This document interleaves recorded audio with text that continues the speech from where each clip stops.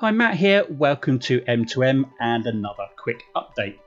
Artemis 1 launch has been delayed yet again, and if you haven't guessed already, the planned launch date the 27th of September and the 2nd of October are now off, and it's all down to this Hurricane Ian, which has caused NASA to roll the SLS rocket back into the Vehicle Assembly Building, or VAB for short, to protect the rocket and for ground crew safety. This all means now that launching during this period of launch windows is now closed. The next window opportunity begins on the 17th of October. Yes, a few more weeks to wait yet again.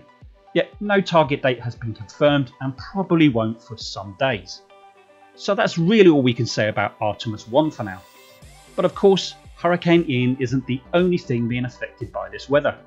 SpaceX and NASA uh, Crew 5 mission to send astronauts to the ISS aboard a SpaceX Crew Dragon spacecraft is under some review as well to see if SpaceX and NASA will still, still target a planned launch on the 3rd of October, also launching from Kennedy Space Center.